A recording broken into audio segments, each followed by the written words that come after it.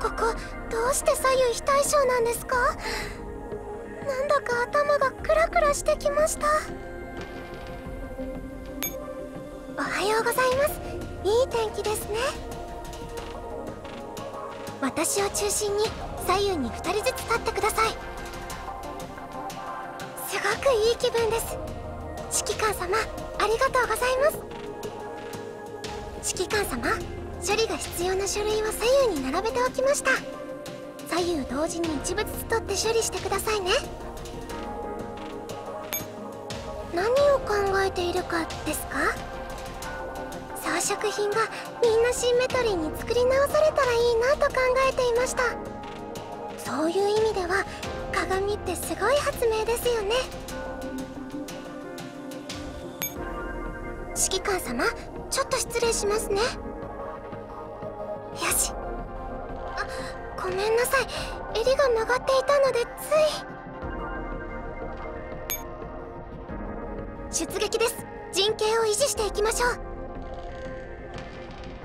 そんなめちゃくちゃな陣形で私たちに勝とうだなんて100年早いです。あ裾が片方だけ破けてしまいました。た勝利しました。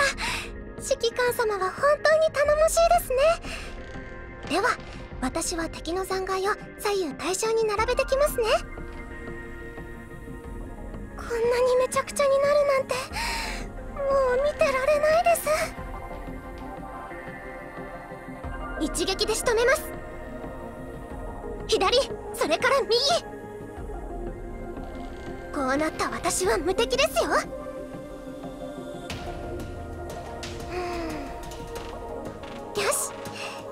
官様の身だしなみ問題ありません。これで安心して後方支援に行けます。ただいま戻りました。整理した物資はそのまま倉庫に入れておけばいいですか？あの先にこっちを直していただいてもいいですか？歪んでしまったもので。どれだけ増えても綺麗な陣形を保ってみせます。すぐ戻ってきます。基地をめちゃくちゃにしないでくださいね。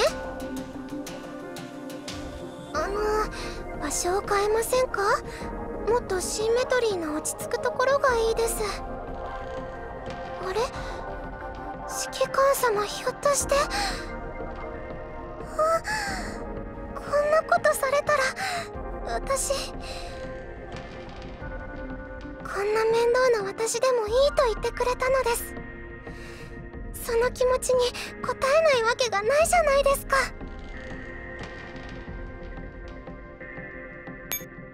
少女先生。ここに鏡を置いておきました。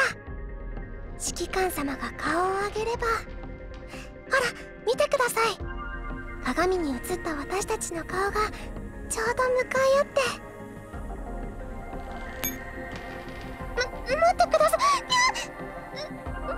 ぐちゃぐちゃになってしまいました。すぐ片付けるのでちょっと待っててくださいね。